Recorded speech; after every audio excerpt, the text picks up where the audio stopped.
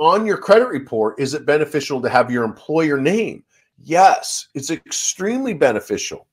It's better to have an employer name and it shows that you're an employee than as a sole proprietor or self employed. You don't want on your credit report to say self employed ever. You always want to say that you're employee and you work for someone else. If you are following my advice and you've gone through the tax planning program with us, then you've already done this and you're a W 2 employee of your business.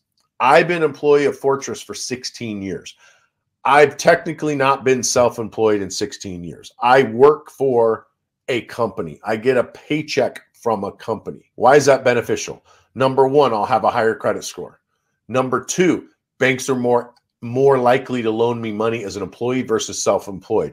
Number three, when I go to get a car loan, motorcycle loan, airplane loan, mortgage, it is so, so much easier to get approved for a loan when you're an employee because you simply give them your W 2 or your paycheck versus 12 to 24 months of bank statements, two to three years of tax returns. It is an absolute nightmare to try to get finance as a self employed person. It's always better to have your company show up on your credit report as your employer and you show up as an employee.